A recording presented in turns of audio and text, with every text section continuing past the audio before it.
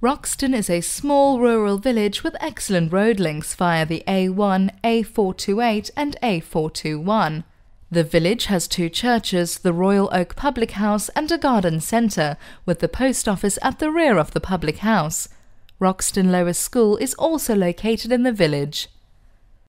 To the front of the property is simply peaceful and green, with a small cluster of other well-maintained bungalows as company. The lounge is light and airy and finished well, with more than enough space to arrange it as you will. A great feature of this property is the well-proportioned breakfast area which is fitting as the centerpiece for family living. The kitchen area has been refitted and serves the property well, appreciating the open-plan living experience. The family bathroom has been refitted in a contemporary style with a white three-piece suite and fully tiled surround.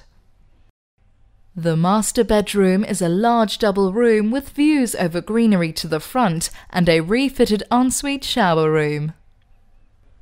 Bedroom 2 is another double bedroom with a Velux roof window providing an abundance of natural light by day and views of the stars by night. The low maintenance garden wraps around the property and is mainly laid to paving, with a five bar gate leading to the parking area.